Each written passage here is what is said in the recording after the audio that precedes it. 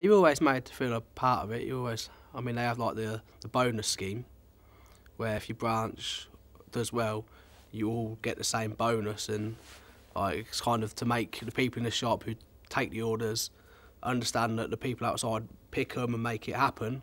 But obviously, they wouldn't be able to do their job if they didn't get the orders. So there is like a, and they do have like um, days out, like fun days and team bonding days. Like uh, about halfway through this year, we went bowling.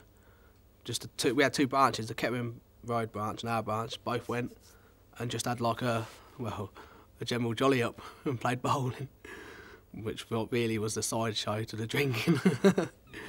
but yeah, I mean, there is always a, an element of thank you, we couldn't have done it without you.